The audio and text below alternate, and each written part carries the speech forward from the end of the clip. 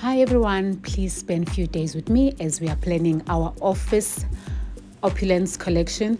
Uh, so I'm fabric shopping here. Mama is helping me to pick up the fabrics. I always prefer fabric shopping before I even start with the collection because sometimes you plan your collection and then when you go out to stores, you don't find what you're looking for. So fabric shopping it is. This is our closet. So here we keep all our samples, samples we've done in the past, previous collections, and we also do uh, commercial movies. So all of these things, it's Fabrosanz, some of them are not Fabrosanz. So usually when we do a collection, I'll come here. This is like our archive and then take from our previous collection just to have an inspiration and then maybe something we can just change, tweak a bit because I always believe in classic timeless pieces. Okay, fabric shopping is done. This is Bonga now putting up the mood board. Uh, you can see these are the colors that we're going to be using and some sketches there just to show us the direction of what we're going to be working on. So from the big closet, we're going to go check out the photo styling office since that's where we keep our very latest collection. So in the bigger closet, it's more archive. Come with and see what Bonga has for us. Thank you, Sam. So I just want to check. I'm busy taking like from our previous collection, just archives for the latest range. And I know here we have the black and white just mm. uh, the double layer. So I'm thinking we're gonna take that and then we're just gonna see how we're gonna, you know, take it to summer vibe. I really love this dress. It's such a pity that we couldn't even do the collection. It was a limited range. So I'm gonna take that Hello. Hi. So we've got these samples that we picked up from the closet. I really love this blouse. So we're just to see how we incorporate it into the collection.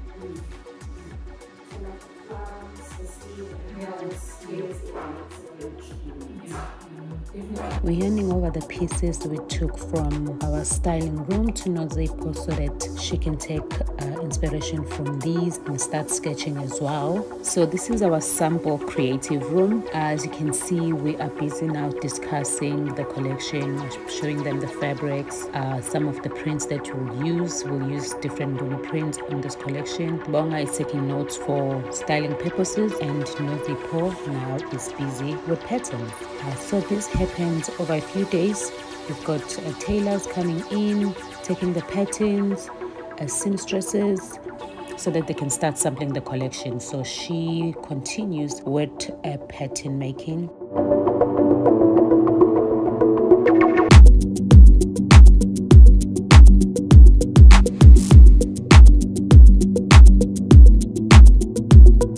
Bonga still checking some more fabrics because we're not done buying fabrics. Nozipo there is tray now have samples ready, checking if they're sitting proper on the mannequin and back into cutting the actual collection. So the first sample uh, done, the sample is from this dress. So this is from our winter collection.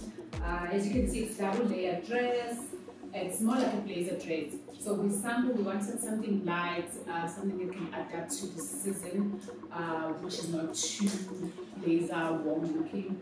And then we went sample, still double layers, but with short sleeve, and then a bit of dramatic shoulders, double breasted.